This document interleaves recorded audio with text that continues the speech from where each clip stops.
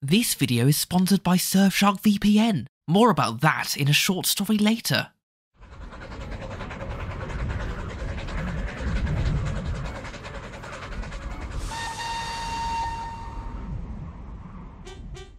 If you don't know this channel by now, firstly, that's a real shame. Secondly, it seems I spend as much time looking back as I do looking forward. After a one-off vlog in 2017, there are now 50 of the things. Terrier Travels has become such a fun time capsule to look back on, spiraled from some silly outings to go and chase trains. To celebrate, let's look back once more on some of the best railway moments I can remember. Rare instances of being in the right place at the right time, steam in unusual locations, and just some happy moments in what is an innocent and very nerdy hobby, but one that often ends up being full of surprises. Number 10. First up, we have steaming to the top of a mountain. Snowdon Mountain Railway isn't the only steam powered rack railway in the world, but it's still absurd to be able to take the train to the summit of Mount Snowdon. Sadly, the railway is more corporately run, and there's more diesel and hybrid services than steam. But many years ago, I did get to travel with number 3. The carriage is propelled up and isn't fully coupled, so you really hear and feel the power of the engine as it climbs. The steepest gradient is 1 in 5.5 metres, and it's no wonder these smoke boxes are so grey and burnt. It's rare to have a completely clear day at the 1085 metre summit, but on the train it can be just as fun ascending into the clouds. The Summit Cafe is a welcome shelter when the wind is strong, but in all weathers you do get spectacular views. It's very clear to see the influence for the Railway Series book Mountain Engines, with the illustrations and engines matching up perfectly with the real things. I do feel sorry for the firemen and anyone who doesn't want to go deaf. But as a passenger, the mountain railways of the world are certainly a wonder. And now, a short story to tell you about today's sponsor.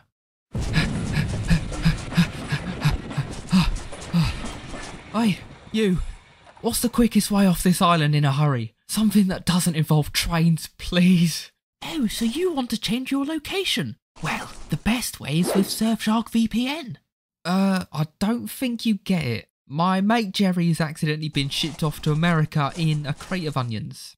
Don't ask. So it's the US of A you're after.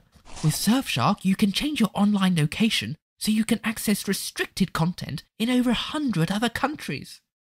What sort of restricted content we talking here? Well, whilst you're looking for your friend, you could be enjoying Netflix shows that are blocked in your country, so you don't miss out on what they've got. Uh, I'm sort of on the run. I don't really have time well, to. if you're wanting to keep hidden, Surfshark will keep your data encrypted when you're on public Wi Fi, so nobody will see what you're doing. You keep your browsing secrets, you cheeky model man, you. That I like the sound of. How's this gonna help me get Jerry back though? Because it means you can shop on sites that offer things cheaper than where you are. So. So, I could change my location to wherever them crates of onions are being sold to and buy Jerry back? Hmm, that plan has a few layers. I'm not sure Jerry's worth the hassle. Well, if you use the code STEPNEYFREE by following the link in the description, you'll get three extra months for free. You'll also get a 30 day money back guarantee. Three months free. Three months free. By using the code STEPNEYFREE. Stepney free. And a 30 day money back guarantee. 30 day money back guarantee. So click the link in the description. Uh, yes. Well, alright then. Thank you, Surfshark. Hold on to those onions, Jerry. Jon is on the way.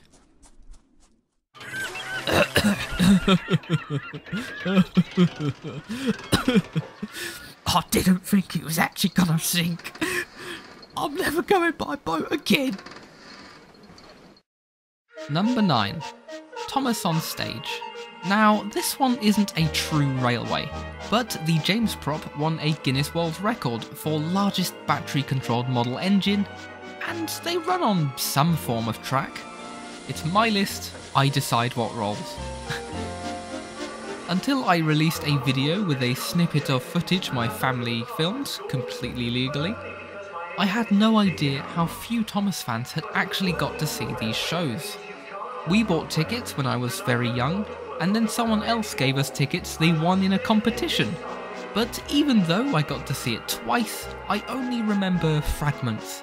Someone has kindly uploaded one of the revised shows in full, and the Bluey 2 has done a great video talking about them. This is probably nostalgia talking, but this was a very special show. They don't make them like that anymore.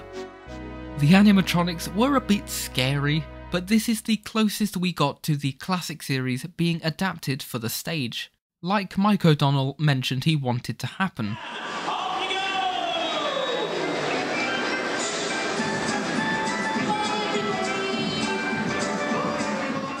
Sadly, the props are either destroyed or have been bought by random companies, so this sort of thing is never to be repeated again. Quite a few people have asked me about this, so I'll mention it here. All I remember is being scared of this one scene where Percy goes into the tunnel on one side and James on the other. I thought it was Gordon, but it can't be because he barely moves on the stage, they crash in the tunnel and part of it starts collapsing. No doubt it's Thomas who goes in and rescues them or something. This could be me misremembering because I was still very young, but to see anything remotely railway related on stage like this is something that stayed with me. Number 8 Underground Steam. This is one of those novelties that I never thought would actually be allowed in the modern day, and indeed it's something that we are increasingly unlikely to see ever again. For the 150th anniversary of the Metropolitan line in 2012, I went to London to meet Met 1, Sarah Siddons and coaches from the Bluebell Railway and London Transport Museum, as they weaved their way under the capital. We constantly hear of the pressures for steam to keep up with the pathings on the main line. So to have a Victorian tank engine belching smoke on one of the busiest metros in the world is phenomenal. Other engines like Prairies and Panniers have also run underground. And in 2019, Met 1 returned to make commuters think that they'd seen a ghost train. Upgrades to signalling and timetables means that this sort of thing is perhaps becoming extinct. But the London Transport Museum still run excursions with their electric stock. Steam at the heart of the big city is something different though.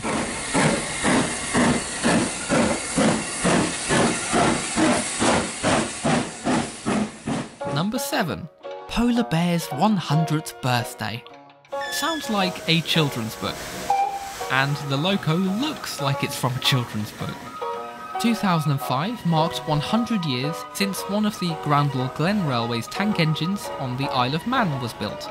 Polar Bear now lives at the Amberley Working Museum in Sussex, so its older sister Sea Lion came to visit.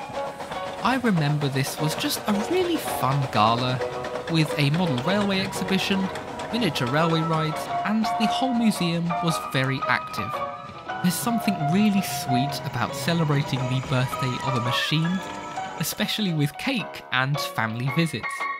As a child, Sea Lion and Polar Bear are just the friendliest looking engines. Immediately after the gala, and I mean immediately, Polar Bear went back to Groudle Glen to repay the visit. I remember driving back home in the dark and we stopped to get petrol. Then, on a lorry driving past, was Sea Lion and Polar Bear en route to the Isle of Man. I can't find any photos to back this up, but what a quick turnaround since the locos would still have been in steam. Number 6. celebrity chasing on the other side of the world. I almost take for granted living in the country with the most working steam engines, so seeing the likes of Flying Scotsman has almost become a normality. That made it all the more special when I saw the most famous engine in Australia, 3801. To my knowledge, 3801 is just famous for being famous, and its only claim is being the only engine to have visited every state in the country. Still, to be on the line side as this huge express engine thundered past was great. I also got to explore where it was built, in what is the best preserved abandoned railworks I've ever been to. Yes, I've been to more than one. We had no idea what to expect at Eveleigh, so discovering all of the machinery firsthand was surprising.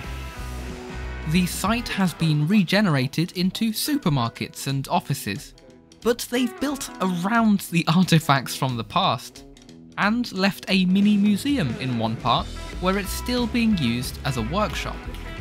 Well played, Australia. Well played. Number 5. Anything Goes. The Talyllyn Railway was bound to come up at some point on this list, and it's difficult to try and narrow gauge down some best moments since I started volunteering there. A definite highlight was the star-aligning occasion when all of their engines were working at the same time. All engines go. Sir Haydn had just returned from an extensive overhaul, and Talyllyn was just about to leave to be repaired itself, so the railway held a gala where anything went. All steam trains were double headers, there were goods trains, and unforgettably, there was a big cavalcade of all six steam engines at the end of the day, led by a chorus of nine whistles.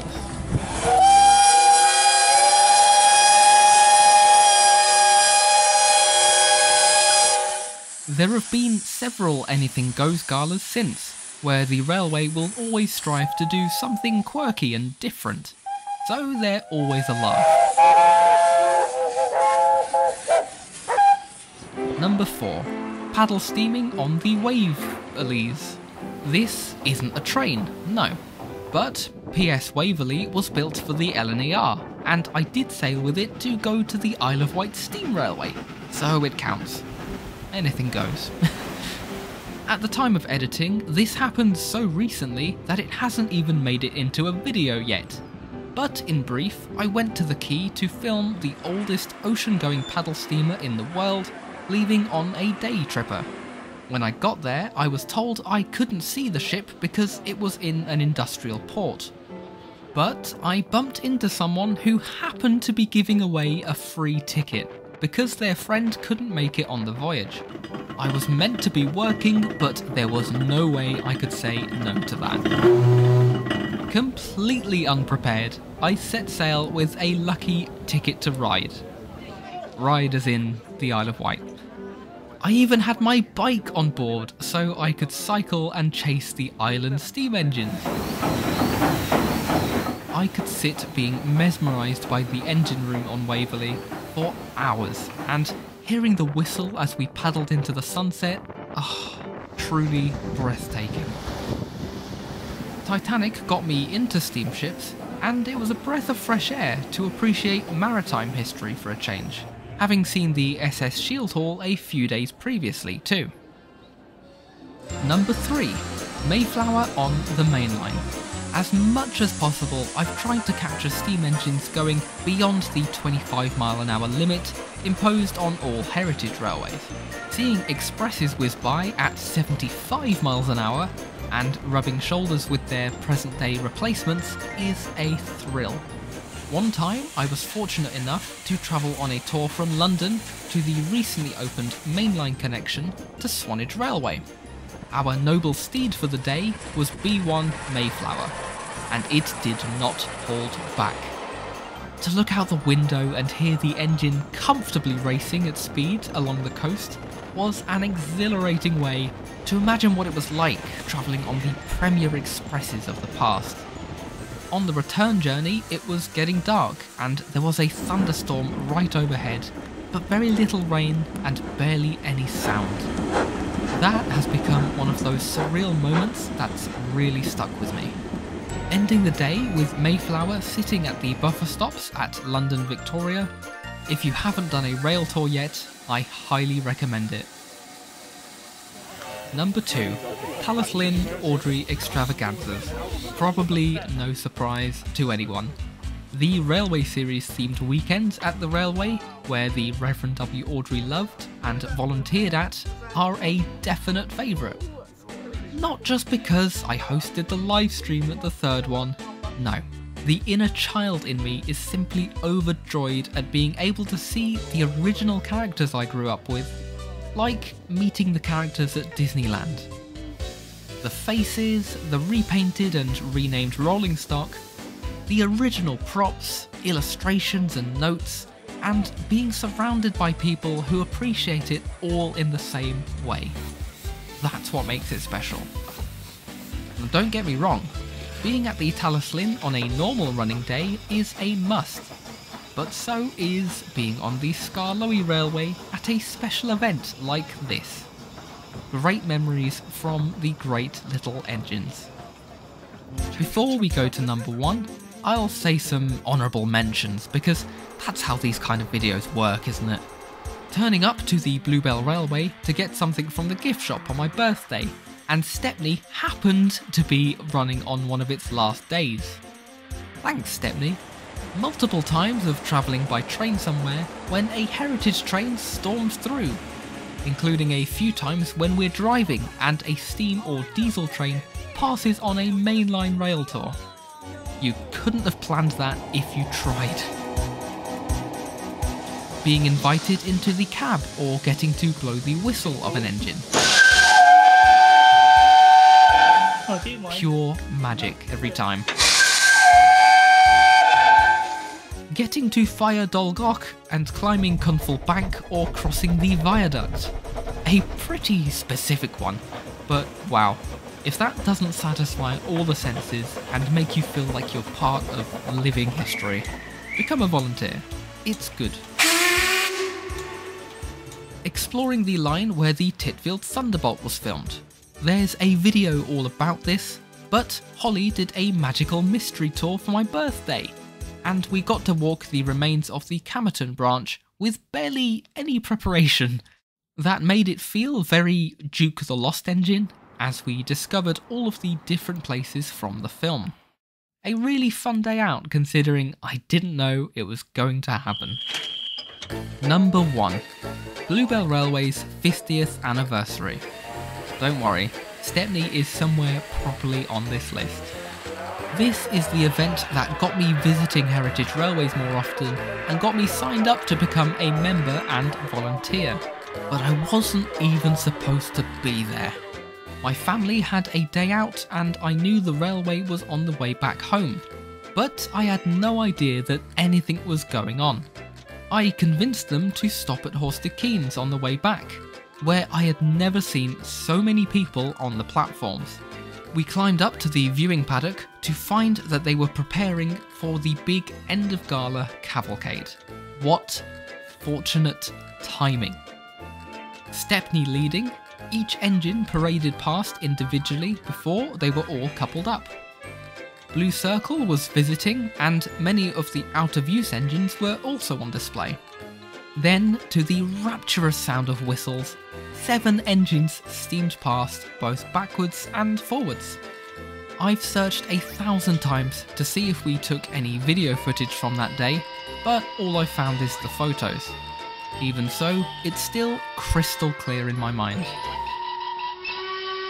Standard gauge railways in the UK seemed frightened of doing big cavalcades like this, which are of course costly and take time to arrange, but there is no better publicity stunt to show off the engines that people are coming to see.